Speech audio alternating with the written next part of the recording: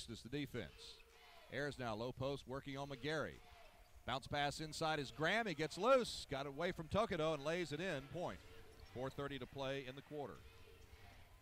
Here's Graham, a lean in off the glass. Nice athletic move by Treveon Graham, averaging 15 a game. Zana, the strong move, is partially blocked by Riley. And back come Idaho. Three for Graham. Good. Seven rebounds a game. Another local tryout player that made this team a rookie for the D League. Need one and seven, the one victory over Rio Grande Valley. Here's Graham a three from the left angle, and he got it. And Graham has 13 points. Slam. Idaho with a chance here. One second to shoot. Graham launches the long three, and he hit it. He buried the triple from outside. Rebound knocking it loose as O'Brien in the hands of Fields. Brandon come the other way to Graham. Back to Brandon Fields, and it's good. Brandon Fields on the feed from Treveon Graham. Reply 16 Graham, 17 for Fields.